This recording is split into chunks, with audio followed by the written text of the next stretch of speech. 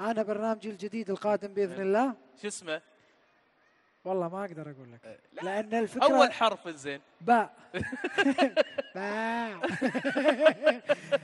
البرنامج مرتبط مو طبيعي الإنسان يا جماعة. يستاهلون والله أقول لكن لكن ما أقدر يعني لسبب بسيط لأن الاسم يفضح الفكرة. أها. وهي فكرة ضخمة جديدة زين هل مفكر فيها يعني وصلتني ترى أنا شوية أخبار كنت تحضر لها وأنت قاعد تسوي الموسم الأخير أو شنو؟ سوار شعيب البرنامج الجديد هذا أنتم حتى أنتم عندكم مباحث نفس اللي لا عندنا بس يعني عندي مفاتيح اللي قاعد شو اللي وصل لك؟ يعني وصلني يعني وصلني إنك أنت كنت من أيام الموسم الأخير أو اللي قبله كنت قاعد تجهز. للبرنامج الجديد صحيح. إيه.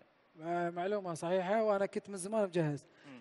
أنا طال عمرك آه، يعني إذا عطني شيء عشان أحس مستحيل إن- لا مستحيل أحس اترك إنه في حصري عشان تعرف طيب. شلة ال social media طيب طيب. خليني أقول لك شغلة لحظة صبر عشان نصور هالشيء ها شو تسوي؟ اي عشان نقول كذا توثيق إن سوار شعيبي يقول انت مو معلومه تلفزيون اي تلفزيون بس تبي مستخدم social media عشان يزيدون ال- المتابعين عندي ها يلا شو. تبي أقول؟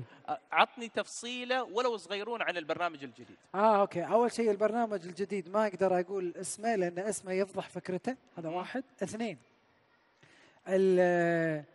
إذا بعطيكم معلومة هو راح يكون كبير على مستوى الوطن العربي وشعيب رئيسي ومو رئيسي بالبرنامج. شلون؟ لأن المشاركة لن تكون فقط من شعيب بل ستكون مشاركة من كل الدول العربية. أها.